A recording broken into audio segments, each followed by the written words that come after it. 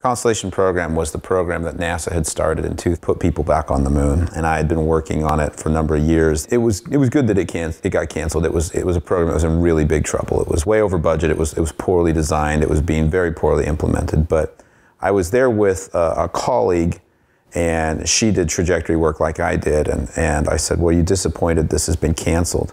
I'll never forget what she said to me. She said, "Kirk, I've been here 30 years."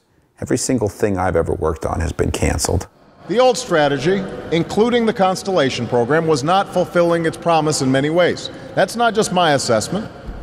And there is a parallel there, I think, between what's going on in the nuclear industry and what's going on at NASA. So it sounds like you each worked on a number of different reactors over your careers. Everything I ever worked on got canceled. Not because of him, though.